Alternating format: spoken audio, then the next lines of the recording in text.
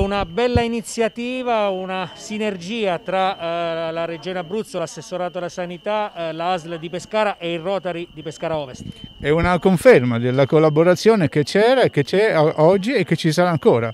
Splendida collaborazione, quindi andiamo avanti con questo tipo di attività e di iniziative. Sono iniziative importanti che vanno nella direzione ovviamente di essere al fianco della cittadinanza. Assolutamente sì, abbiamo comunque bisogno di questi, di questi sostegni e questa è la classica dimostrazione di quello che si potrebbe fare.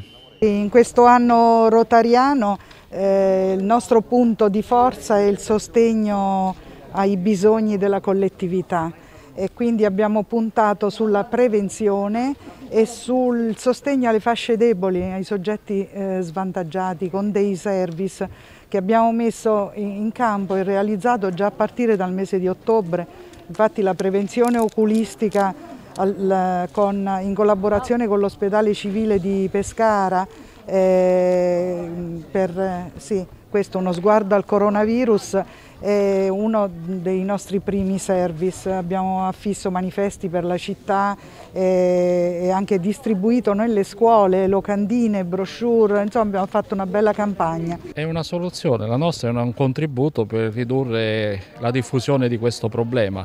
Insieme ai vaccini a tutte le disposizioni che il governo ha emanato, Sicuramente la nostra è una delle più efficienti perché? Perché permette di interrompere il contagio e soprattutto previene il contagio. Ecco, per esempio qua stiamo parlando di un tunnel che è all'ingresso della struttura. N persone giornalmente entrano in queste strutture, sono sicuramente viene verificata assolutamente la temperatura e vengono igienizzate, quindi anche il contatto con i dottori, in questo caso la visita negli ambulatori, la prenotazione di una prestazione avviene con maggior sicurezza, quindi sia gli operatori che i clienti sono tutti più tranquilli, è un concetto molto semplice.